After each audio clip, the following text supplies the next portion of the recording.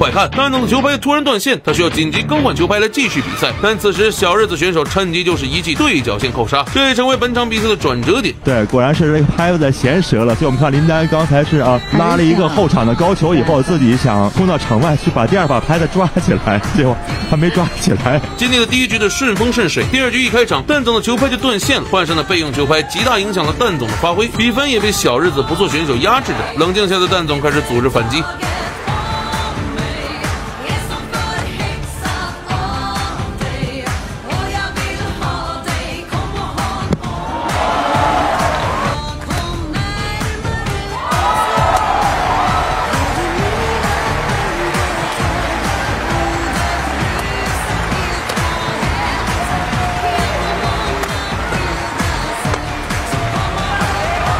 比分很快被蛋总追至，只差一分。接下的一球成为了本场比赛的经典名场面。双方对攻数拍后，小日子选手又一记对角线暴力扣杀，企图扩大优势。蛋总飞身救球，而后迅速回防。小日子不做选手呢，紧接着又是一记插网扣杀。蛋总接球撞网，懊恼的蛋总此时嘴里不知道嘀咕了什么。有没有懂唇语的兄弟帮忙翻一下？小日子选手佐佐木祥利用蛋总窝火的心态和不顺手的备用盘连续得分，比分很快来到了十一比七。进入中场休息时间，领队赶紧对蛋总进行心理疏导。经过疏导后，蛋。的心态逐渐平和，在接下来的比赛中越打越勇，比分很快再次破戒。就当所有人都认为蛋总能反败为胜时，裁判的眼睛却不听使唤了。明明是小日子选手把球打出界了，裁判却跟没看见一样，判了日本选手得分。就这样，在裁判的神助攻下，小日子不错选手赢下了第二局的比赛。但他不知道的是，这一局他赢得有多侥幸，下局输的就会有多惨。